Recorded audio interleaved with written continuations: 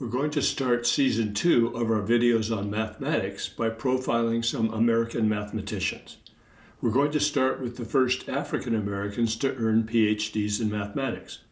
Here are the names of the first 14 African Americans to earn PhDs in mathematics, the dates they received their degrees, and the college at which they earned the degree. Here are a few random facts about some of the people in our list.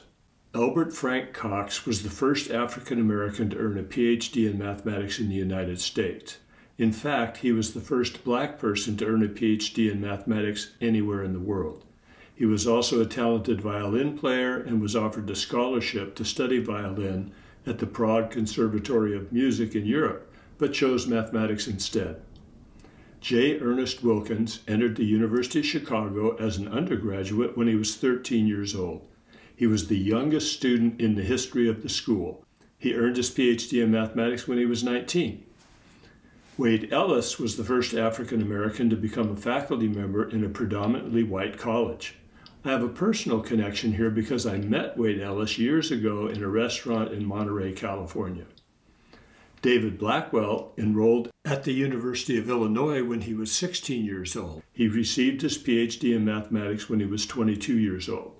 He has a connection to G.H. Hardy, who we met in our previous video series, and a possible connection to you if you take a finite math or statistics course in college.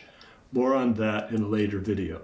William Claytor was the first African American to publish in a mathematics research journal, and he influenced the career of Katherine Johnson, one of the women depicted in the movie Hidden Figures. One of the reasons we profiled the mathematicians in our first set of videos is that they had to overcome barriers put in front of them to get their work in mathematics noticed and to continue to expand their discoveries. The first obstacle the people in our list had to overcome was the unequal educational system for blacks and whites in the United States during this period of time. To put this in perspective, in 1896, the U.S. Supreme Court upholds the separate but equal doctrine in their ruling in Plessy versus Ferguson. The education for blacks and whites can be separate, segregated, as long as the quality of that education is equal. It's not until 1954 in Brown versus the Board of Education that the Supreme Court strikes down Plessy versus Ferguson, ruling that segregation of children in public schools solely on the basis of race was unconstitutional. All of the first 14 are living under the separate but equal doctrine. And generally speaking, the schools may be separate, but they're not equal.